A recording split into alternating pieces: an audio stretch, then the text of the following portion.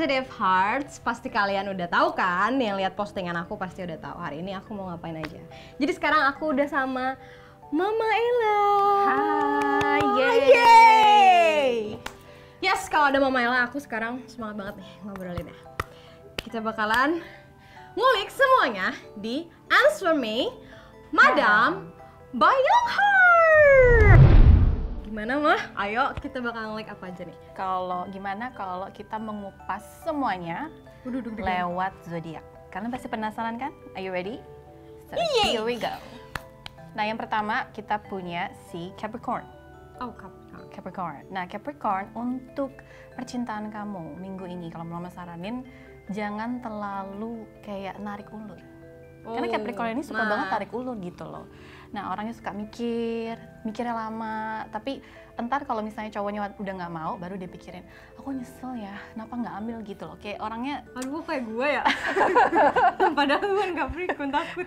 gitu, orangnya tipikal yang nggak bisa mikir langsung mengambil keputusan cepat. Hmm, labil. Yes, Oke, masih baik. labil. Next kita punya Aquarius. Nah, untuk Aquarius, saran mama, kalian tuh harus lebih percaya diri. Karena Aquarius ini momen-momen saat ini ada di masa ambang-ambang gitu loh. Kayak gue tuh maunya apa sih? Gue tuh bisanya apa sih? Atau gue harus ikut seperti teman aku kayak gitu loh. Tapi menurut mama, kita harus be positive dan jadi diri sendiri. Itu yang paling penting, girls. Wow. Karena kalau misalnya kita cuma niru ikutan gaya orang, at the end kita akan ngerasa kita tuh cuma kayak fake gitu loh. Gimana Ya. sih? Kita kan harus ikut style Ya. kita dong, ya kan? Kita jadi diri sendiri. Betul, ikut diri sendiri. Nah, next kita punya setelah Aquarius, kita punya Pisces. Nah, gimana pendapat kamu tentang cewek Pisces? Mama Pernah? Pisces nih. Pisces tuh kadang-kadang sensitif banget Oh, nih banget. ya kan.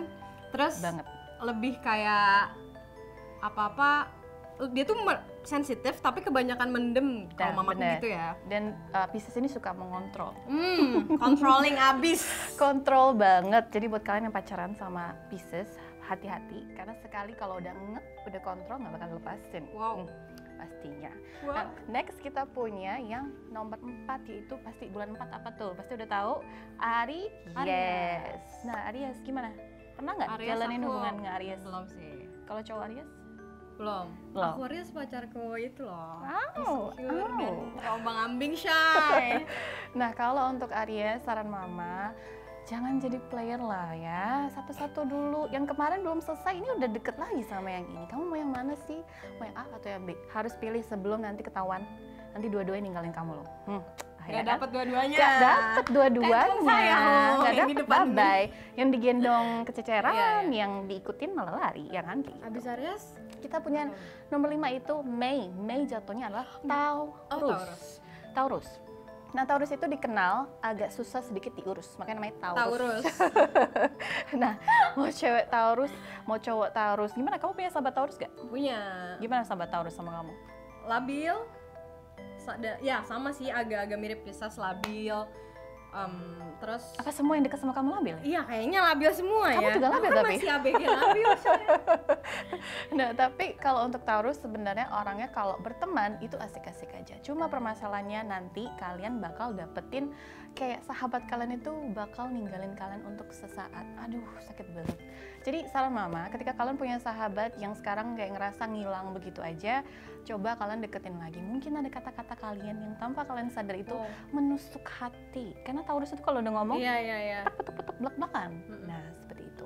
Nah, next setelah Taurus kita punya cewek yang bersifatnya dua. Gemini. Betul. Yap. Nah, ini bersifatnya dua. Gimana kamu dengan cewek Gemini atau cowok Gemini? Kalau cowok Gemini aku nggak pernah klik sih, kayak udah banyak banget tuh Mhm. PDKT aku Gemini. Pasti aku udah oh kalau Gemini udah deh.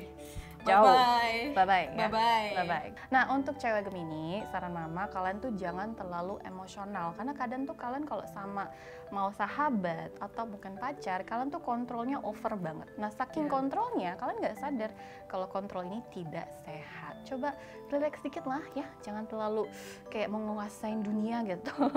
Santai aja. Nah, next kita punya si ten ten ten. Cancer. Cancer, Cancer, Cancer. Untuk Cancer, Aduh deg-degan. Ah. Gangster orangnya bukannya kalau untuk berteman dia memang berteman sa- sama siapa aja, tetapi untuk deket sama gangster nggak mudah. Nggak mudah. Karena Cancer ini punya dua sisi di mana dia ngejudge dulu orangnya, sorry ya. dia Wow, ngejudge dulu ditampar. orangnya kayak ini baik nggak sih? Kalau deket sama dia uh, oke nggak sih? Karena dia nggak mau kalau salah gaul Iya. dan nggak mau juga nanti di depan itu baik, tahu di belakang ngomongin orang. Iya. Nggak suka, Cancer nggak suka suka. begitu. Cancer lebih enak ngomongin musik atau apa, dia lebih suka gitu loh. Tapi Cancer ini kalau ada masalah cinta, complicated. nah, next kita punya si abis Cancer kita ada nomor yang lain 8. Oh, Leo. Betul. Nah, Leo. Nah, Aduh, ah, siapa yang Leo. pernah hadapan sama cewek atau cowok Leo? Yang Pasti kalian tahu kan? mohon maaf. Pantes. Hmm. Karena Leo ini biasa nggak bisa stick sama satu. Yap. Dan Leo ini biasanya mereka itu sekali deket itu bisa 3-4 orang. Hmm. Dan kalau pacaran sama kamu, dia ada cewek atau cowok lain. Bener kan Leo? Kalian bisa komen di bawah ini. Bye Leo. Dan next setelah Leo kita punya si Pam Pam Pam bulan 9. Siapa yang tahu? Vir? Virgo. Yes. Setelah Leo kita punya Virgo. Nah, Virgo itu orangnya mudian, baperan. Sekarang semangat, nanti dua menit lemes lagi. Jadi Virgo itu energi kamu tuh gampang banget terpengaruh. Tapi saran mama, buat kalian yang para Virgo harus semangat be positif karena positif itu yang membangkitkan semangat kita, bikin kita mau melakukan apa pun dengan positif itu lebih enak daripada kita baperan. Sebenarnya Virgo nggak ada masalah, Iya. tapi seolah-olah ada masalah. Masalah dibikin-bikin. Yes, bener apa. dramanya itu wow, Ya. drama banget. nah, next setelah Virgo kita punya siapa? Libra. Bener, di bulan Iya 10 itu kita punya Libra. iya. Gimana? Kamu punya teman Libra? Enggak ada kalau Libra belum. Mantan, gebetan, ada. Nggak ada. saudara? Enggak tahu. Enggak, enggak, enggak ada. Nggak deket ya, soalnya kamu nggak terlalu deket sama saudara. Nah, kalau untuk Libra, saran mama kali ini kamu harus lebih konsisten dengan apa yang kalian mau kerjain. Kalau mau bener-bener kayak misalnya aku mau ngambil uh, jurusan ini mah, aku mau ambil jurusan ini. Bener-bener pastikan kalian mau, bukan karena temen yang suruh atau karena teman kamu di situ dan kalian ngerasa nggak enak jauh sama teman. Namanya kehidupan itu bukan kita lihat sebatas teman, tapi sebatas apa yang kita mau. Karena kan Iya. sekarang berteman, besok belum tahu, iya kan? Iya. Gitu.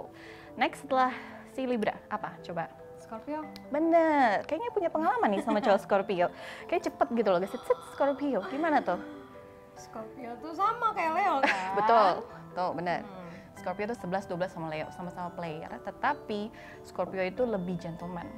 Tapi Dari- dia nggak, ya mereka player tapi dia nggak mau dimainin gitu Betul, kan? dia player tapi nggak mau dimainin. Begitulah si cowok atau cewek Scorpio. Sama sih ya, 11-12. Tapi Scorpio pasti nggak mau ngaku nih. Soalnya ini Ya.